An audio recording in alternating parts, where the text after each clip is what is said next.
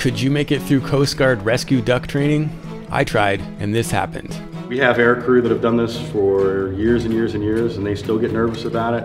75 yard swim, tread water for two minutes, and inflate a vest manually, just simulating that the CO2 pull cartridge doesn't work. I'm learning how to use a rescue taco.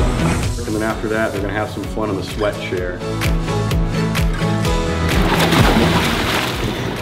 Well, we gotta simulate what we'd actually be wearing in the aircraft if we went in the water, so that's what this is about. Sorry, what no was that? clue what's coming.